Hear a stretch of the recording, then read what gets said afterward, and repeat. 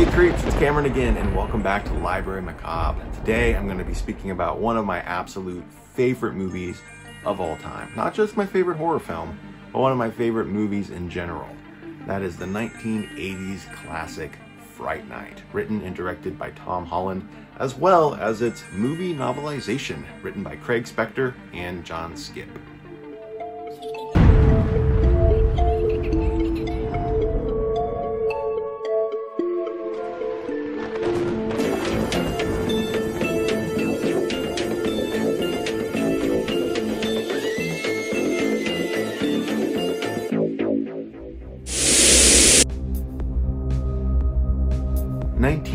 1985's Fright Night is not only a horror classic, but I feel one of the great teen movies of the 80s. If John Hughes ever directed a horror film, I believe the outcome would probably be something like Fright Night. It has all of the humor, all of the awkward teen situations, and it has that perfect cinematic 80s style. For those who have somehow never seen Fright Night before, this movie follows a teenage boy named Charlie Brewster, and he has a new neighbor one that he believes is a vampire.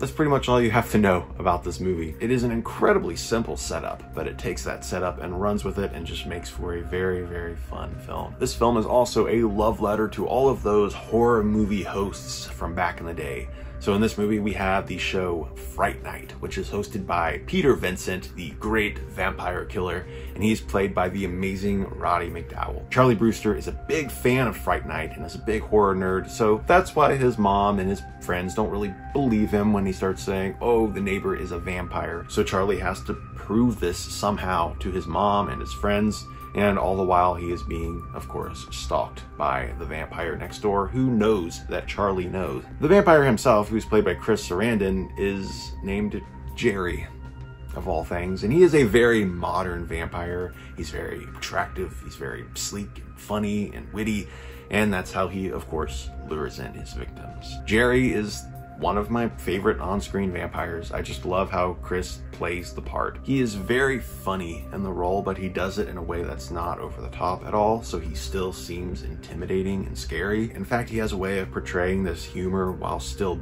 being scary and intimidating at the same time. It's just really good. It is just one of those purely entertaining, satisfying films with great cinematography, great music. I just, I love it. I love it. I have the really, really nice Blu-ray set from Eureka. That's a company out of the UK. And it's made to look like a VHS when really it is a Blu-ray. Actually, my Blu-ray is still in the Blu-ray player because I'm watching the special features. And it's got postcards and a poster and all of that fun stuff. I don't know if this is out of print or not. I got this from Zavvi. I think it was a Zavvi exclusive. If this is sold out, you can still get the regular Blu-ray, which is still really nice. So yeah, there's Fright Night from 1985. And of course, back in the day, whenever a hit movie was released to theaters, there was always a novelization. So of course, there was a novelization of Fright Night. This is written by John Skipp, Craig Spector, who are mostly known now for their splatterpunk books, but I believe this was actually the first book they ever wrote together. If you like Fright Night the movie, you owe it to yourself to read this book. It is just as good as Fright Night in my opinion. It is pretty much identical to the film in every way. It just adds a little bit more depth gives you a little bit more back history of the characters, especially what's going on in Charlie's head as he's trying to figure out what the hell to do about the whole vampire situation.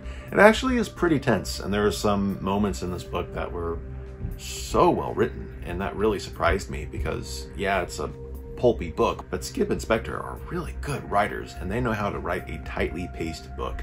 So much so that I listened to the audiobook of this in one sitting. I was at work uh, listening to it. Usually when I'm listening to an audiobook, I have to, uh, after listening for an hour or two, I have to go and listen to some music or listen to another audiobook or watch a video or something just to break it up because I start losing focus on the story and my mind drifts.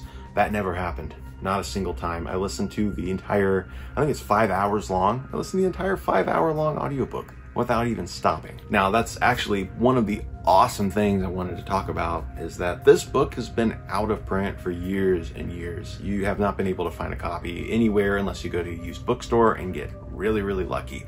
It's a rare book and it's very expensive online. I was fortunate enough to find a copy in a used bookstore for a couple of dollars.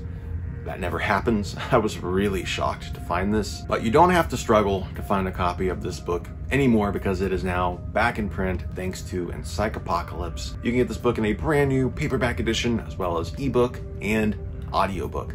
I listened to the audiobook because uh, Psychopocalypse was very kind and sent me a copy for review. So if you enjoy Fright Night as a movie, I really think you're going to enjoy Fright Night as a book.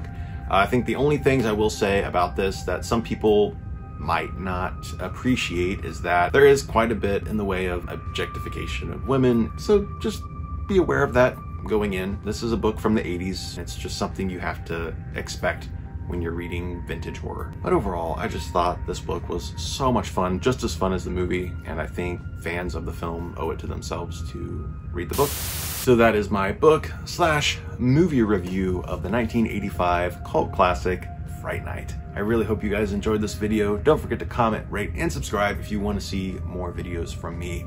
Thank you so much for watching. I'll see you in the next video. Later, creeps.